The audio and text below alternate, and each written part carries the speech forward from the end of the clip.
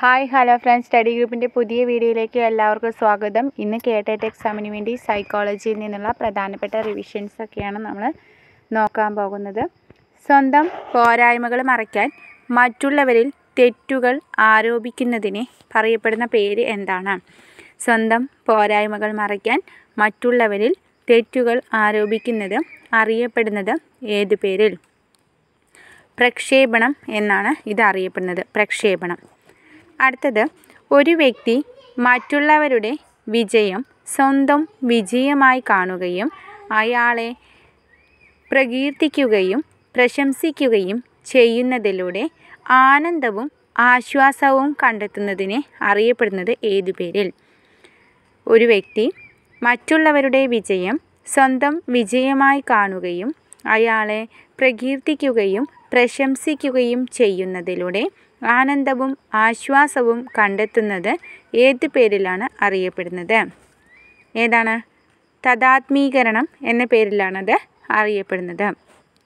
അടുത്തത് വേദനാജനകമായ അനുഭവങ്ങൾ മാനസിക സംഘർഷങ്ങളും സാക്ഷാത്കരിക്കാൻ ആവാത്ത ആഗ്രഹങ്ങളും അബോധ മനസ്സിലേക്ക് തള്ളിവിടുന്നത് ഏതു പേരിൽ അറിയപ്പെടുന്നു?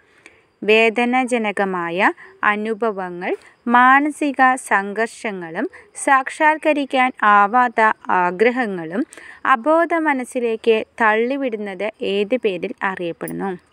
ആൻസർ ദമനം എന്നാണ്.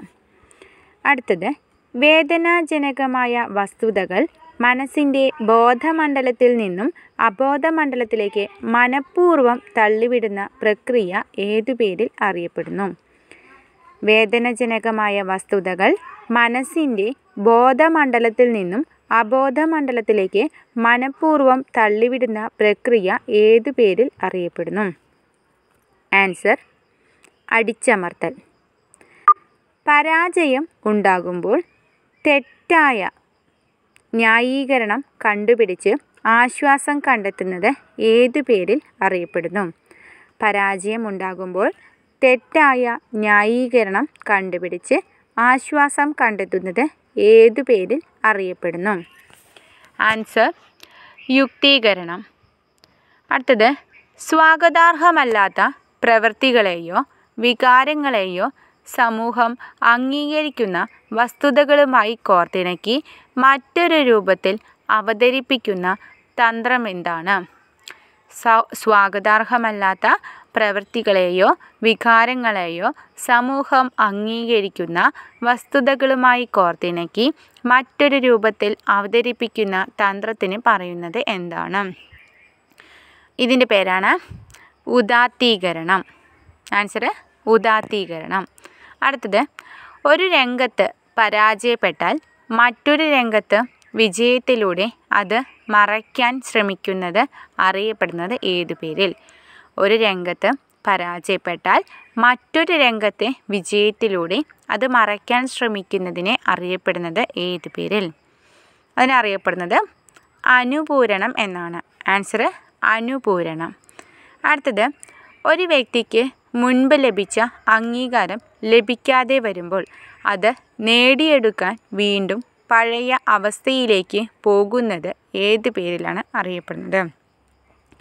ഒരു വ്യക്തിക്ക് മുൻപ് ലഭിച്ച അംഗീകാരം ലഭിക്കാതെ വരുമ്പോൾ അത് നേടിയെടുക്കാൻ വീണ്ടും പഴയ അവസ്ഥയിലേക്ക് പോകുന്നത് ഏതു പേരിൽ അറിയപ്പെടുന്നു? ആൻസർ പശ്ചാത്ഗമനം പശ്ചാത്ഗമനം. അടുത്തത് തനിക്ക് എന്തെങ്കിലും ദോഷം ചെയ്തവരോട് തിരിച്ച് പ്രതികരിക്കുന്നത്. തനിക്ക് എന്തെങ്കിലും ദോഷം ചെയ്തവരോട് തിരിച്ച് പ്രതികരിക്കുന്നത് ഏതു പേരിലാണ് അറിയപ്പെടുന്നത്? ആൻസർ ആക്രമണം ആക്രമണം എന്ന പേരിലാണ്. മോഹഭംഗമാണ് ആക്രമണം എന്ന തന്ത്രത്തിന് പ്രധാന കാരണം. ഒരു വ്യക്തി പരിസ്ഥിതിയുമായി ജീവിത സാഹചര്യങ്ങളുമായോ ഇണങ്ങിച്ചേരാത്തതും ഒരു വ്യക്തി സ്വന്തം പ്രശ്നങ്ങൾക്ക് തെറ്റായ ചിന്ത ആൻസർ വളർത്തിയെടുക്കുന്നതും ഏത് പേരിലാണ് അറിയപ്പെടുന്നത്?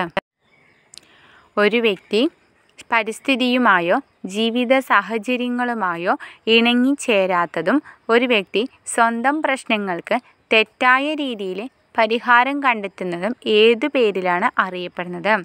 അതറിയപ്പെടുന്നത് അപസമായോജനം എന്ന പേരിലാണ്. അപസമായോജനം എന്ന പേരിലാണ് അടുത്ത ചോദ്യങ്ങൾ നോക്കാം. കുട്ടികൾക്ക് ഇഷ്ടപ്പെട്ട ക്രിക്കറ്റ് താരമോ സിനിമാ താരമായോ താതാത്മ്യം പ്രാപിക്കുകയും അവർക്കുണ്ടാവുന്ന ഓരോ വിജയവും സ്വന്തം വിജയമായി കണ്ട് സംതൃപ്തി നേടുന്നതും അറിയപ്പെടുന്നത് ഏതു പേരിലാണ് അത് അറിയപ്പെടുന്നത് തദാത്മീകരണം എന്നാണ്. കുട്ടികൾക്ക് ഇഷ്ടപ്പെട്ട ക്രിക്കറ്റ് താരമോ സിനിമാ താരമായോ താതാത്മ്യം പ്രാപിക്കുക അല്ലെങ്കിൽ താരതമ്യം ചെയ്യുകയും അവർക്കുണ്ടാവുന്ന ഓരോ വിജയവും സ്വന്തം വിജയമായി കണ്ട് സംതൃപ്തി നേടുകയും ചെയ്യുന്ന പ്രവൃത്തി അറിയപ്പെടുന്നത് തദാത്മീകരണം എന്നാണ്. അടുത്തത് ധനികനായ ഒരു സുഹൃത്തിന്റെ പണം മോഷ്ടിച്ചതിന് ശേഷം അതിന് ന്യായീകരിക്കണം ന്യായീകരിക്കുകയും അവൻ ധനികനല്ലേ എന്ന് ഇതൊരു നഷ്ടമല്ല അവന് എന്നൊക്കെ ന്യായീകരിക്കുകയും ചെയ്യുന്ന രീതി അറിയപ്പെടുന്നത് യുക്തീകരണം എന്നാണ്. ധനികനായ ഒരു സുഹൃത്തിന്റെ പണം മോഷ്ടിച്ചതിന് ശേഷം അതിനെ ന്യായീകരിക്കുക. അവൻ ധനികനല്ലേ അവന് ഇതൊരു നഷ്ടമല്ല എന്നൊക്കെ പറയുന്ന രീതി അറിയപ്പെടുന്നത് യുക്തീകരണം എന്നാണ്. അടുത്തത് ഒരു കുഞ്ഞ് ജനിക്കുമ്പോൾ മൂത്ത കുട്ടിക്ക് മുൻപ് ലഭിച്ച സ്നേഹം ലഭിക്കാതെ വരുന്നു. അപ്പോൾ തന്നെ ശ്രദ്ധിക്കാൻ വേണ്ടി ആ കുട്ടി കുഞ്ഞായിരുന്നപ്പോൾ ചെയ്ത കാര്യങ്ങൾ ചെയ്യുന്നു. ഇത് അറിയപ്പെടുന്നത് പശ്ചാത്ഗമനം എന്നാണ്. ഒരു കുഞ്ഞ് ജനിക്കുമ്പോൾ മൂത്ത കുട്ടിക്ക് മുൻപ് ലഭിച്ച സ്നേഹം ലഭിക്കാതെ വരുന്നു. അപ്പോൾ തന്നെ ശ്രദ്ധിക്കാൻ വേണ്ടി തന്നെ ശ്രദ്ധിക്കാൻ വേണ്ടി കുട്ടി ആ കുട്ടി കുഞ്ഞായിരുന്നപ്പോൾ ചെയ്ത കാര്യങ്ങൾ എന്തൊക്കെയാണ്? അതൊക്കെ ചെയ്യാൻ തുടങ്ങുന്നു. ഈ രീതി അറിയപ്പെടുന്നതാണ് പശ്ചാത്ഗമനം എന്നറിയപ്പെടുന്നത്. അപ്പം മുൻപുണ്ടായിരുന്ന നമ്മൾ മുൻപുണ്ടായിരുന്ന സ്ഥിതി എന്താണോ അതിലേക്ക് തിരിച്ചു പോകുന്ന അവസ്ഥയാണ് പശ്ചാത്ഗമനം. ഇനി അടുത്തത്. കുട്ടികൾ ഇല്ലാത്ത ദമ്പതിമാർ അനാഥാലയത്തിലെ കുട്ടികൾക്ക് പുസ്തകം തുണികൾ എന്നിവയൊക്കെ നൽകുന്നത് അറിയപ്പെടുന്നത് ഉദാത്തീകരണം എന്നാണ്. കുട്ടികൾ ഇല്ലാത്ത ദമ്പതിമാർ അനാഥാലയത്തിലെ കുട്ടികൾക്ക് പുസ്തകം തുണികൾ എന്നിവ നൽകുന്ന പ്രവർത്തനം അറിയപ്പെടുന്നത് ഉദാത്തീകരണം എന്നാണ്. ക്ലാസ് ചുമരുകൾ വൃത്തികേട് ആക്കിയ കുട്ടികളെ അവ വെള്ള പൂശി മനോഹരമാക്കാൻ ചുമതല നൽകുന്നു. അവർ പിന്നീട് ഒരിക്കലും ഇങ്ങനെ ചെയ്തില്ല. മറ്റുള്ളവരെ ഇതിൽ നിന്നും പിന്തിരിപ്പിച്ചു. ഈ രീതി അറിയപ്പെടുന്നത് ഉദാത്തീകരണം എന്നാണ്.